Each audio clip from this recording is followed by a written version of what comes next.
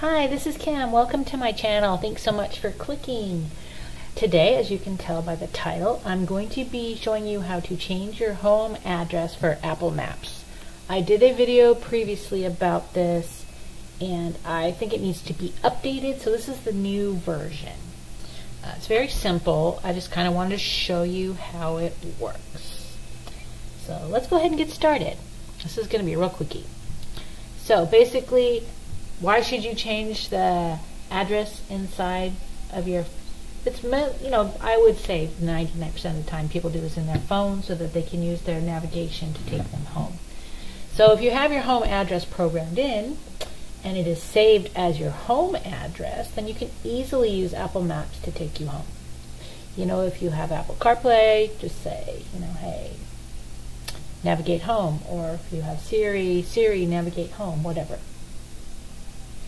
Um, no matter where you are, simply ask Apple Maps to navigate home and it'll take you there. If you do not have it programmed incorrectly, when you select the home button, you may be routed somewhere else.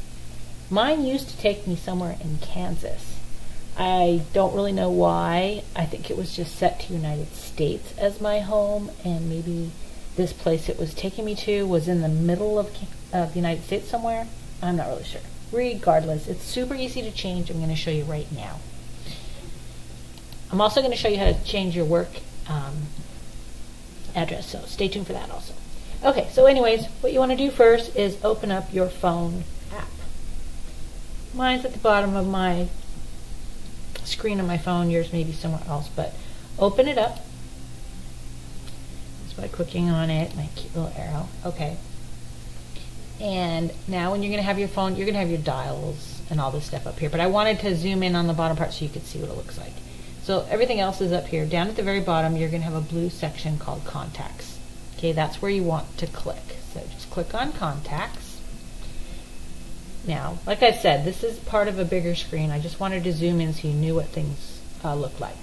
So under your name, there's a little uh, text right there that'll say My Card. So you want to click on My Card.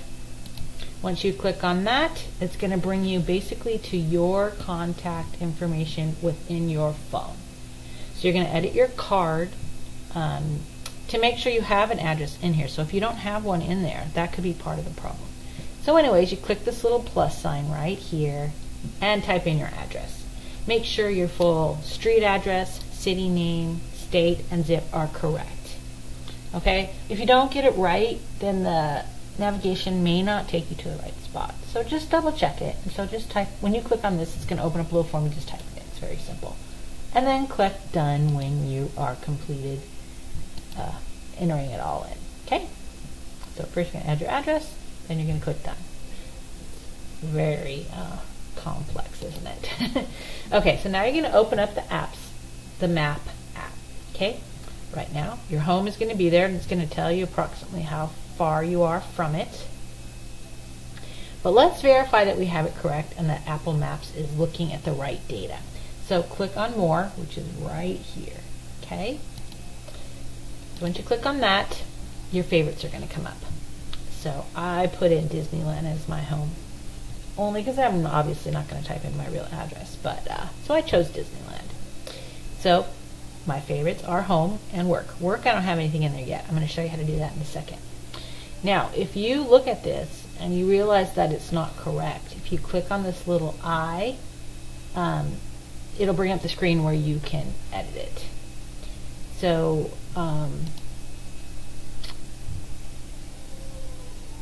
what was I going to say?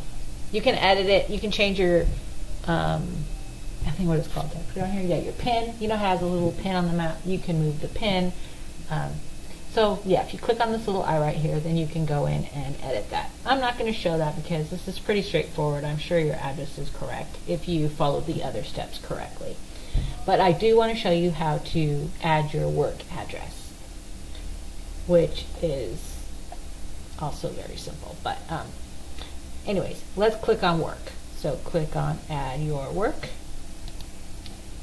and it's going to say set up contact card, blah, blah, blah, blah, blah. So then we're going to uh, basically open up our contact card where we were before when we put in our home address. But we're just coming in a different way, and that's why we have this screen. And it's basically telling you that if you keep your contact card up to date, the maps will stay up to date. So click right here, down here at the bottom, open up my contact card. Oh, before I forget, if you are enjoying this video, please give it a like, and also don't forget to subscribe to my channel. That would be great, I uh, thank you in advance if you do subscribe. Okay, back to this. Let's type in your work address. Okay, since we live in Disneyland, let's work at the Queen Mary. So you click the little plus button and type in the address for your work. And then when you're done, click done, which is up here on the top, which I've, I've cropped off. But So after you're done with this, you're going to have your home address saved, your work address saved, and Apple Maps will access your contact card and have links to those two locations for easy navigation. So here we go. So we're just going to choose one. If you want to go home, click here. If you want to go to work, click here. If you want to go somewhere else, click in here and type. It's pretty simple. And the best part about this is you can use your voice uh, commands in your car. Like, hey, take me home. Hey, Google, navigate me home, or whatever. And it'll open up and take you there. That's it. That was simple, straightforward. I hope that you learned something. Um, I hope that this made sense to you and you're able to um, edit your addresses easily. It's very simple. Just just open up the phone app, go to your contact card, and that's where you want to edit the data. And once you edit it there, Apple Maps will automatically change it so that if you the next time you open up Apple Maps, it'll use whatever information is in your contact card. That's it. So I uh, hope you liked it and I'll see you next time.